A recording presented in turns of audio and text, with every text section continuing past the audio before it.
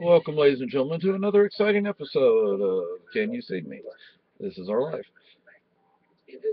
I'm making this video, it's a question. What is the etiquette? What is, how do you say, how is, what is the moving etiquette? When you move, and you, I don't know if the right word would be invite or ask or request, probably ask or request people to help you move, what is the etiquette insofar as do we treat them to something to eat? I I mean, you know, like we could get some uh, soda water, you know, we can get a variety of soda water, put it in the refrigerator. That's that's that there. But what about food? I mean, should we get uh, one or two pizzas? If we get pizza, let's just use pizza as the example let's say we get a large. A large would be would serve two slices for four, for four people. Would that be sufficient? I mean, how many people should you invite? Who should they be? How much should you expect from them? If you're not paying them, do you provide them food and drink? If so, what kind of food? How much food? Would two slices of pizza suffice? What time should you start? What time of day should you start moving? You know, I mean, we could start packing, of course. Days or us would probably have to. Months. yeah, would probably have to start months in, advance. We need a forklift. You know, because I mean, we're just physically.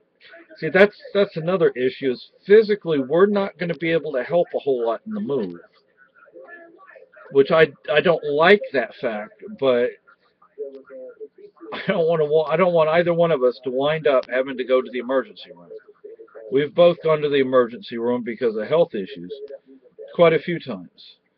And we both have back problems, we both have chronic pain and my wife has some issues separate from mine. Some issues we have in common, some we have separately.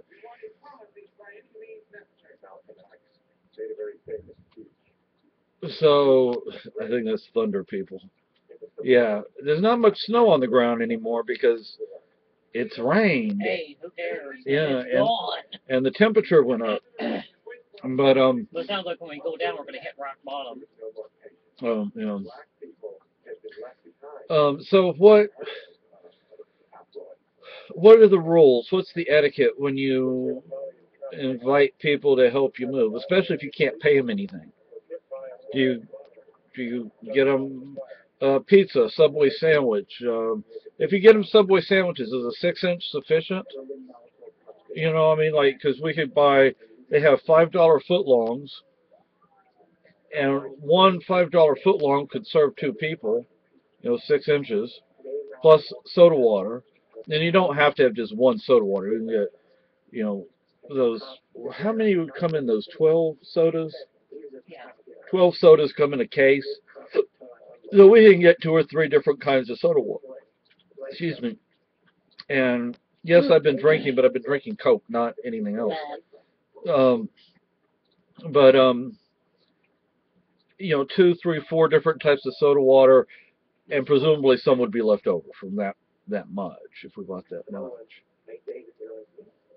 Um, and another another issue we might we might come across is we might have to move some things, unbox or unpack some things, reuse those boxes to move more things, which would mean it would take longer.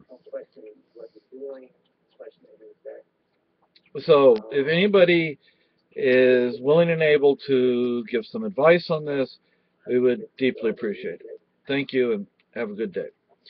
And no, we don't know Keith Hernandez.